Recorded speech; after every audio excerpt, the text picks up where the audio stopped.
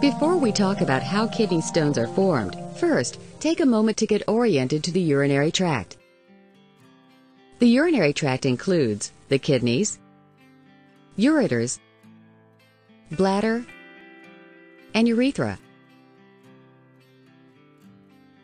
Now, let's enlarge a kidney to get a closer view. Here's a cut section of the kidney. Urine flows from the outer cortex to the inner medulla.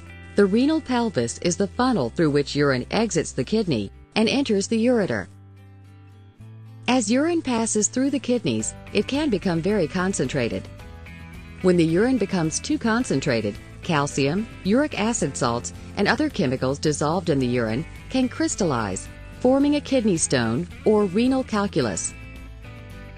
Usually, the calculus is the size of a small pebble, but ureters are very sensitive to being stretched, and when stones form and distend it, the stretching can be very painful.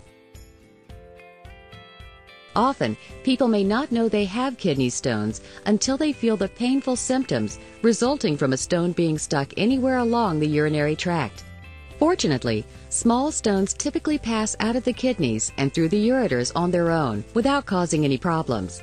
However, stones can become more problematic when they block the flow of urine, as seen in the example here.